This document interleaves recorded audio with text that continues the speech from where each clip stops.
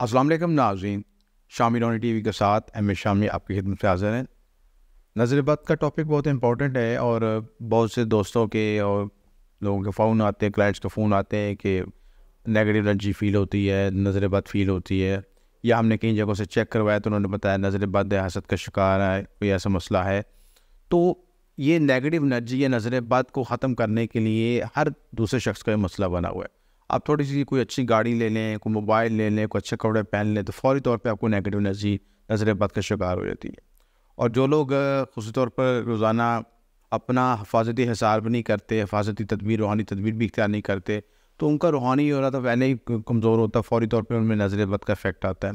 और बाद लोगों के करीबी रिश्तेदार या इर्द गिर्द के लोग भी ऐसे होते हैं, जिनकी फौरी तौर पर नेगेटिव एनर्जी बड़ी इफ़ेक्ट करती है। और वो या बीमार हो जाते हैं या उनको कोई नुकसान हो जाता है या परेशानी हो जाती है। या अक्सर आप देखा कि नई गाड़ी लेके निकले तो उसका एक्सीडेंट हो गया या उसमें कोई ख़राबी आ गई, कोई परेशानी आ गई, कोई स्क्रैचेस आ गए, कुछ भी ऐसा मसला हो सकता है। इन तमाम चीज़ों से बचने के लिए आसान आजमूदा तरीका, आसान नक्श में बताया जा रहा है जो कि वीडियो में दिखाया जाएगा। इस नक्श का फ़ायदा ये है कि आप इसको मोबाइल की वॉल स्क्रीन पर लगा सकते हैं। अपने घर में इसको print out print out print out निकाल के लगा सकते हैं। और जब भी आपको ऐसी नेगेटिव एनर्जी फील हो तो उसको आप मसलसल पाँच मिनट, पाँच या दस मिनट को देखेंगे तो उसके असरात आपको ज़ायल होना शुरू हो जाएँगे। इस नक्श की खसूस अहमियत और अफादियत ये है।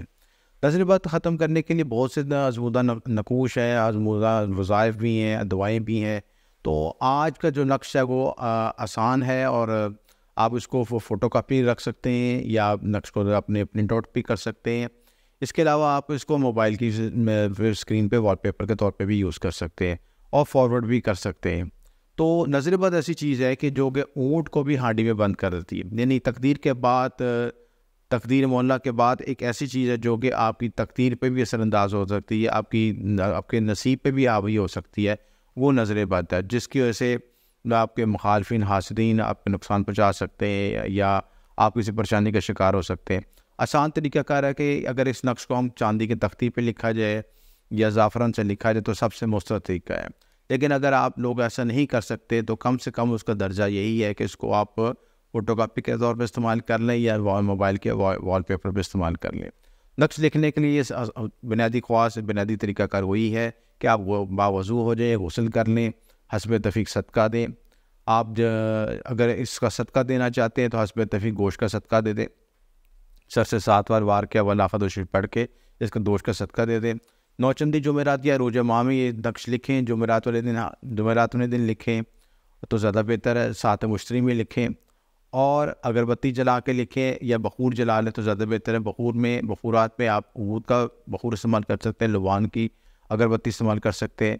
खुशबूआत में आप मुश्किल खुशबू इस्तेमाल कर सकते हैं। इस नक्श को आप प्रॉपर असूल कवायद के मुताबिक, रजाल गैब के मुताबिक और हसाब का ख्याल रखते हुए कागज़ के चांदी के पत्थर पर लिखें और लिख कर गले, बाजू में बांधें तो आप हर तरह के नज़र बद और नेगेटिव एनर्जी से महफूज रह सकते हैं। मज़ीद तफसीत के लिए आप दिए नंबर पर रबता कर सकते हैं। अगर आप इस नक्श की इजाज़त लेना चाहते हैं तो कमेंट्स में आप अपना नाम लिखें और इजाज़त के लिए कहें तो आपको इजाज़त दे दी जाएगी इन जो भी शख्स इस नक्श को इस्तेमाल करना चाहता है, अपने मोबाइल पर यूज़ करना चाहता है या अदारे से मंगवाना चाहता है तो दिए नंबर पर रबता कर सकता है। आपका शुक्रिया, हमेशा।